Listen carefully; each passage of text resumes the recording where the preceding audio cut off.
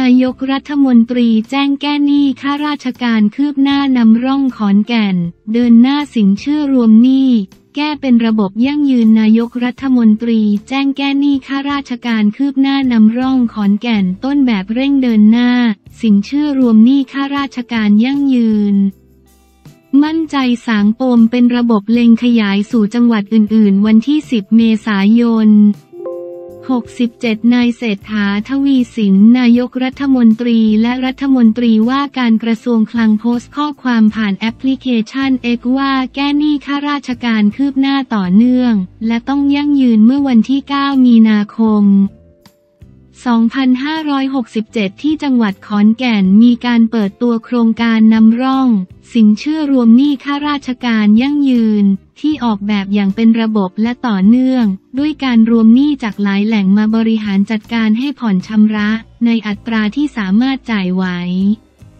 และขยายเวลาผ่อนจากอายุ 60 ปีเป็น 80 ปี ลดดอกเบี้ยต่ำอัตราคงที่ตลอดอายุจากความร่วมมือของธนาคารกรุงไทย สหกรณ์ครูขอนแก่นร่วมกับกรมส่งเสริมสหกรณ์จังหวัดขอนแก่นศึกษาธิการจังหวัดขอนแก่น ส่วนราชการในจังหวัดขอนแก่น เครดิตบูโร และกรมบัญชีกลางเชื่อมต่อข้อมูลวางระบบแก้หนี้ที่ยั่งยืน และจะเร่งขยายไปจังหวัดอื่น และส่วนราชการอื่น ๆ ด้วย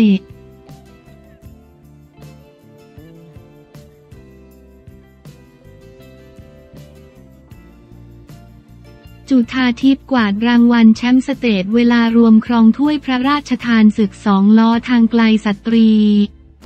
การแข่งขันจักรยานทางไกลสตรีนานาชาติ Women's Tour of Thailand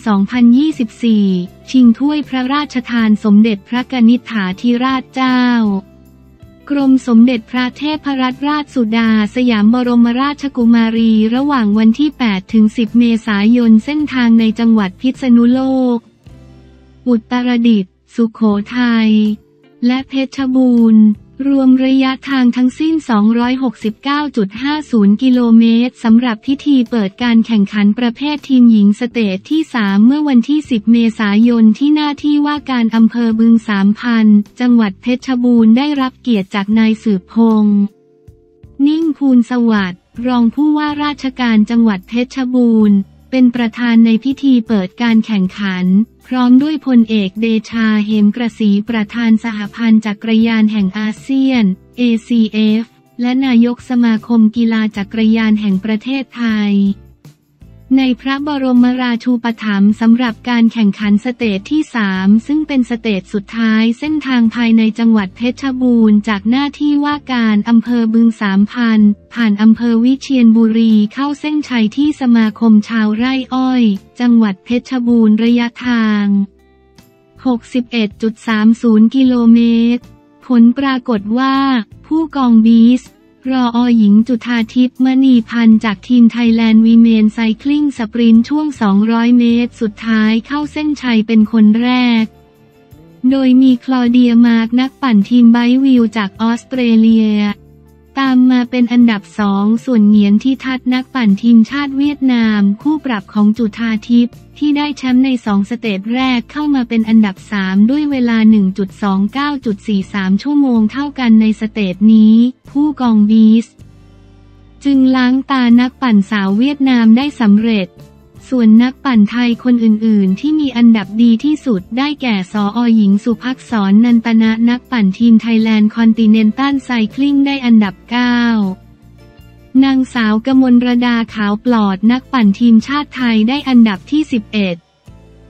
นางสาวรุ่งนภากุศลนักปั่นทีมชาติไทยได้อันดับที่ 14 เวลา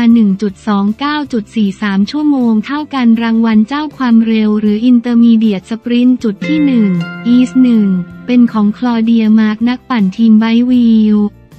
โดยมีรออหญิง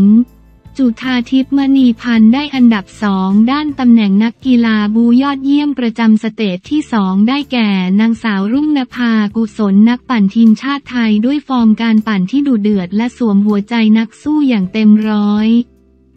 สรุปรางวัลชนะเลิศผู้นำเวลารวมเป็นของบีสรออหญิงจุธาทิพย์มณีพันธ์จากทีม Thailand Women's Cycling เวลา 6.49.18 ชั่วโมงได้รับ เสื้อเหลือง พร้อมได้ครองถ้วยพระราชทานสมเด็จพระกนิษฐาธิราชเจ้า กรมสมเด็จพระเทพรัตนราชสุดาสยามบรมราชกุมารี อันดับสองเหงียนถิทัดนักปั่นทีมชาติเวียดนามเวลา 6.49.18 ชั่วโมงเท่ากัน แต่จุธาทิพย์ได้อันดับสองในสเตจที่ 1 และ 2 ดีกว่าเหงียนถิทัดซึ่งได้อันดับ 3 ในสเตจสุดท้าย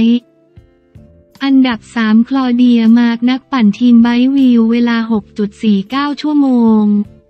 โดยมีนางสาวกมลรดาขาวปลอดนักปั่นทีมชาติไทยได้อันดับที่ 5 เวลา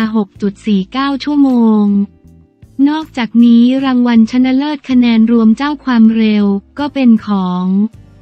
จุธาทิพย์มณีพันธ์มี 49 คะแนนได้รับ เสื้อเขียว อันดับสองเหงียนที่ทัดมี 48 คะแนน อันดับ 3 คลอเดียมาร์กมี 42 คะแนน รางวัลชนะเลิศนักกีฬาอาเซียนยอดเยี่ยม ได้แก่จุธาทิพย์มณีพันธ์เช่นเดียวกันได้รับ เสื้อม่วง อันดับสองเหงียนที่ทัดเวลา 6.49.18 ชั่วโมงเท่ากัน อันดับสามนูอิสยาบินติมูฮัมหมัดซูบี นักปั่นทีมชาติมาเลเซียเวลา 6 นาฬิกา 49 นาทีชั่วโมง ทั้งนี้พลเอกเดชาเหมกระสีนายกสมาคมกีฬาจักรยานได้มอบเงินอัดฉีดให้แก่นักปั่นทีมไทยแลนด์คอนติเนนตัลและทีมชาติไทยที่ได้รับรางวัลต่างๆ รางวัลละ 50,000 บาท และมอบให้จุธาทิพย์มณีพันธ์ที่ได้แชมป์จำนวน 150,000 บาท รวมทั้งมอบรางวัลพิเศษให้แก่พันตรีหญิงจันเพงนนทศิงห์อีก 30,000 บาท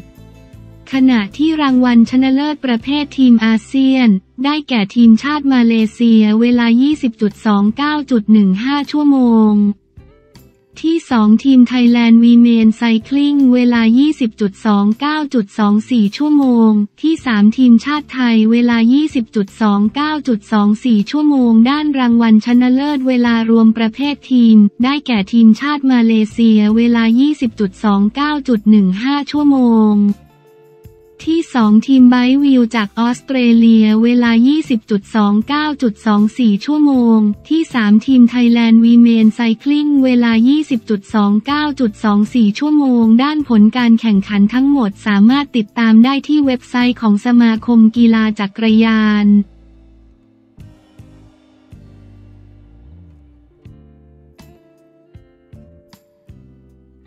ข่าวดี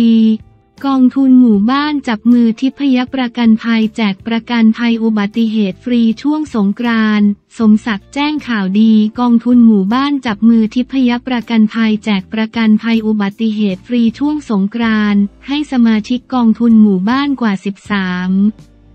ล้านคนเมื่อวันที่ 10 เมษายน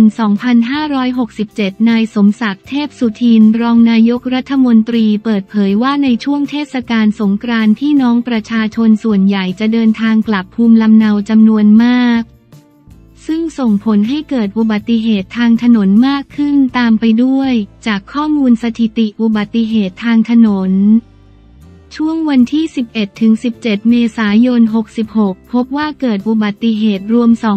2,203 ครั้ง มีผู้เสียชีวิต 264 ราย และมีผู้บาดเจ็บ 2,208 ราย จะเห็นได้ว่ามีทั้งผู้เสียชีวิต และผู้บาดเจ็บจำนวนมาก ดังนั้นเพื่อเป็นการลดความเสี่ยงให้กับพี่น้องประชาชน สำนักงานกองทุนหมู่บ้านและชุมชนเมืองแห่งชาติ จึงได้มีการจัดโครงการประกันภัยฟรี ให้กับสมาชิกกองทุนหมู่บ้านทั่วประเทศ นายสมศักดิ์กล่าวอีกว่ากองทุนหมู่บ้านได้ร่วมมือกับทิพยประกันภัยทำประกันภัยอุบัติเหตุฟรีให้แก่สมาชิกกองทุนหมู่บ้านช่วงสงกรานต์ที่มีอายุ 20-70 ปี โดยคุ้มครองสูงสุด 1 0 0 0 0แสนบาท ซึ่งมีระยะเวลาคุ้มครองนานถึง 30 วัน สมาชิกกองทุนหมู่บ้านที่สนใจสามารถลงทะเบียนรับสิทธิได้ที่ QR Code ตั้งแต่วันที่ 1 ถึง 15 เมษายนนี้โดยระยะเวลาคุ้มครอง 30 วัน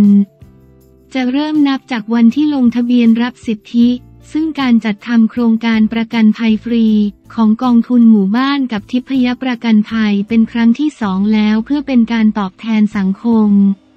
โครงการประกันภัยอุบัติเหตุฟรีถือเป็นโครงการที่ดี มีประโยชน์กับประชาชนเป็นอย่างมาก